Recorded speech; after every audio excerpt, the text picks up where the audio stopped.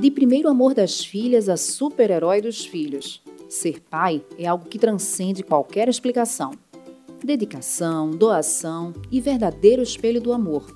Ser pai é dar proteção, bênção e os melhores e mais importantes conselhos. Aqueles que iremos carregar por toda a vida. Presente nas brincadeiras, mas também aquele que fala com olhar. Pai é amor. Um amor que nos protege, nos guia e nos dá forças para trilhar a vida. Ser pai é ir além.